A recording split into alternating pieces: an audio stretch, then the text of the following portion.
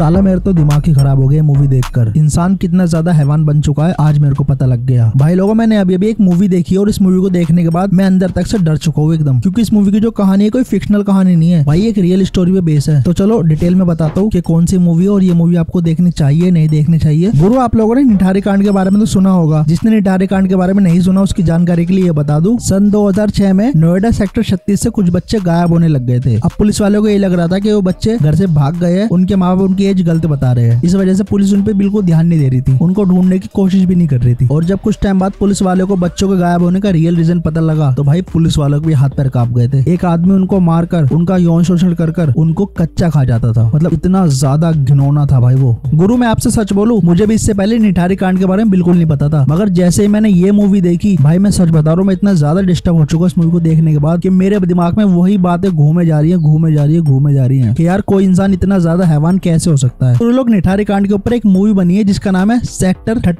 और ये मूवी इतनी ज़्यादा डिस्टर्बिंग है भाई मतलब तुमने एक बार मूवी देख ली ना तुम निठारी कांड के बारे में सर्च करने लग जाओगे। इस मूवी के दो मेन लीड है, एक का नाम है दीपक डोबरियाल, एक का नाम है विक्रांत। विक्रांत को तो आप लोग जानते होंगे, विक्रांत की अभी एक मूवी आई थी टेंथ फेल और इस मूवी को लोगों ने इतना ज़्यादा पसंद करा मतलब इतना ज़्यादा लोगों ने इसको देखा मूवी को, कि भाई विक्रांत रातों रात सुपरस्टार बन गए। वो पहले से भी थे, मगर अब ज़्यादा पसंद आ गए लोगों को। और दीपक डोबरियाल के बारे में तुम लोगों को पता ही है, ये बंदा यार रोते हुए कोई हंसा सकता है। इस बंदे का कैरेक्टर इतना ज़्यादा औसम है, मगर इस मूवी के अंदर इस बंदे का कैरेक्टर इतना ज़्यादा सीरियस दिखाया भाई। मतलब तुम यार इस बंदे को देख के समझ जाओगे की मूवी किस लेवल पर होने वाली है। मैं एक बार फिर से कहना चाहूँगा, दीपक डोबरियाल और विक्रांत का भाई मैं फ़ैन हो गया। मतलब भाई इनका काम देखकर इस मूवी मेरे को बहुत ज़्यादा मज़ा आ गया। और मूवी के लास्ट में प्रेम का कैरेक्टर ये कंफर्म करता है कि उसने लोगों को कैसे मारा। भाई वो सीन देखकर तुम्हारे ना घोषबम होने वाले हैं। इस मूवी की जो एंडिंग है ना, वो इतनी ज़्यादा अनएक्सपेक्टेड हो जाती है। मतलब दो पल के लिए तो मैं भी ये सोचने लग गया कि अभी और बाकी है मूवी क्योंकि अभी बहुत कुछ रह गया दिखाने के लिए। मगर जितना दिखाया उतना सही था। बाकी ये और भी ज़्यादा बड़ी हो सकती थी। मगर इनको ये मूवी जल्दी खत्म करनी थी। इसलिए दो कैरेक्टर में सिर्फ़ फोकस करा है। बाकी और भी बहुत सारी कहानियाँ थी, जो मैंने न्यूज़ में देखी है, मगर मुझे मूवी में देखने को नहीं मिली। कोई बात नहीं, मगर ये मूवी अच्छी है, बहुत ज़्यादा अच्छी है तुम्हें एक बार ज़रूर देखनी चाहिए ये मूवी तो चलते फिर ऐसी और वीडियो देखने के लिए। इस चैनल को सब्सक्राइब कर दो लाइक कर दो, मिलेंगे फिर नेक्स्ट वीडियो में। Okay tata bye bye